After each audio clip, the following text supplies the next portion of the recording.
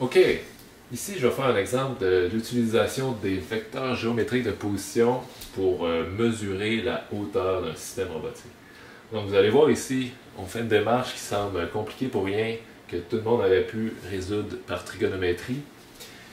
Mais le gros avantage d'utiliser une démarche qui est vectorielle, c'est que ça marche très très bien en 3D, tandis que la trigonométrie, quand on fait des systèmes en 3D, comme la plupart des robots, ils fonctionnent dans trois dimensions, euh, c'est aussi simple avec l'approche euh, vectorielle, tandis que la trigonométrique, ça se complexifie pas mal quand on veut faire du 3D.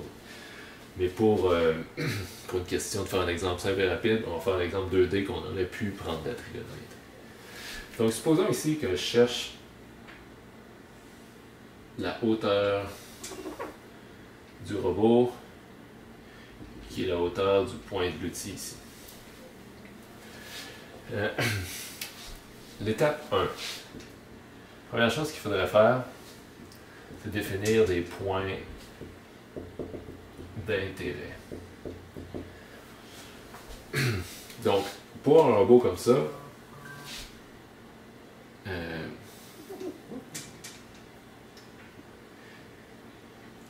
je prendrai des points qui vont permettre d'avoir des vecteurs avec des longueurs connues qui, dans le cas d'un robot, seraient les membrures qui sont de longueur fixe. Si, si je définis un vecteur comme ça, je connais pas la longueur d'emblée, mais si je fais un des vecteurs qui suivent des, des, membrures qui ont des longueurs connues, euh, je vais pouvoir donner des variables que je connais à ces vecteurs-là. Donc, je définirai ici un point A, B, ici un point C, ici un point D.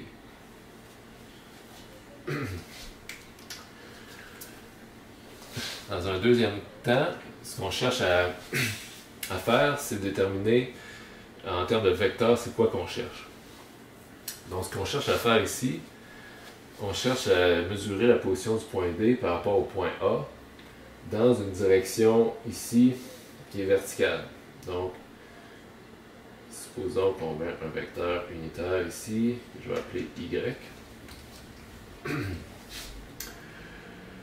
On pourrait dire que ce que je cherche, c'est de déterminer R de D par rapport à A, donc la position du point D par rapport à A. Mais ici, on ne cherche pas juste le vecteur, on cherche la mesure selon la direction euh, verticale. Donc, ici, le vecteur qui définit cette direction-là, c'est Y chapeau.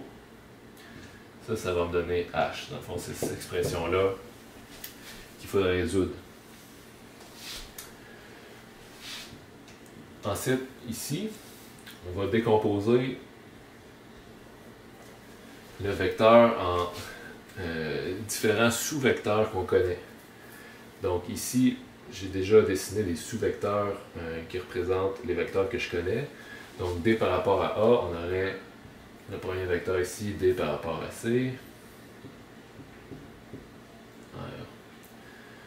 C par rapport à B plus R de B par rapport à A. OK.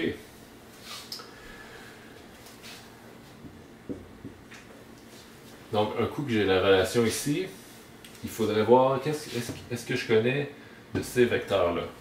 Donc, si ça c'est un système robotique, je vais probablement connaître les longueurs des membrures ici. Prendre une autre couleur. L2, L3, qui serait les longueurs des membrures comme ça. Et L3 ici, qui serait la longueur de la membrure ici.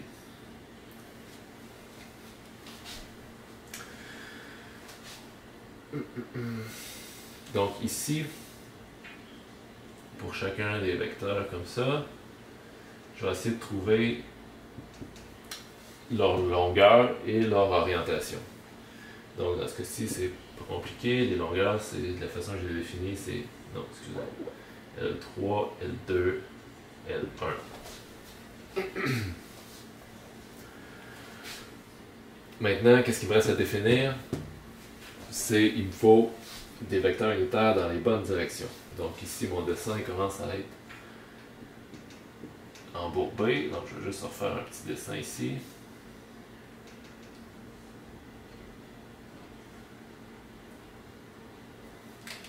Donc, je vais me définir des vecteurs unitaires qui représentent les orientations que je cherche.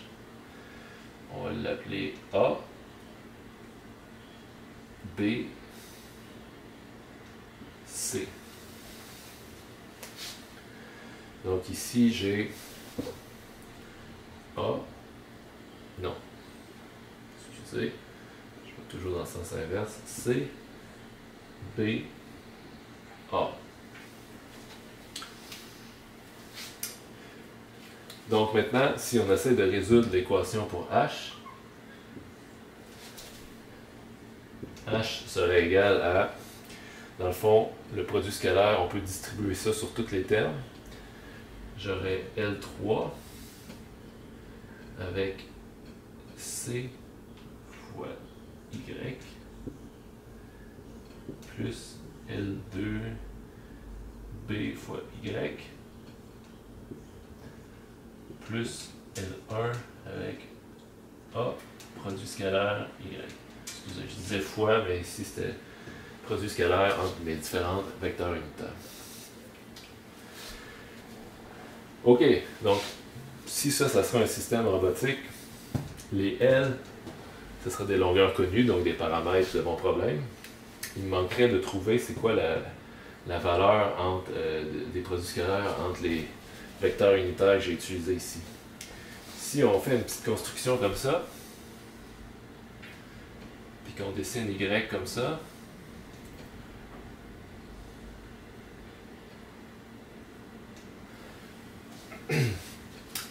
le produit scalaire entre deux vecteurs unitaires, comme on a vu dans l'autre capsule, c'est l'angle, le cosinus de l'angle entre ces vecteurs-là. Donc, si je définis ici un angle θ1, un angle θ2, un angle θ3, qui représente l'angle de, de, A, B, C, respectivement par rapport à la, à la verticale. On pourrait préciser l'expression que ça, ça deviendrait cos de θ3 plus L2 cos de θ2 plus L1 cos de θ1. Donc ici, si je connais l'angle des membrures par rapport à la verticale et les longueurs ici, j'ai l'expression qu'il me faut pour relier la hauteur du point D par rapport au point A, comme ça. Donc, ça, ce serait une façon d'utiliser une approche vectorielle. Donc, je répète, première étape, c'est, un, il faut bien définir le problème, définir des points d'intérêt et éventuellement définir des vecteurs unitaires pour les directions d'intérêt, on pourrait appeler ça. Ensuite, il faut faire une construction euh, géométrique des vecteurs qui représentent ce qu'on cherche par rapport à l'origine qu'on va avoir. Et ensuite, on peut utiliser les produits scalaires pour déterminer les mesures qu'on cherche dans le système. Voilà.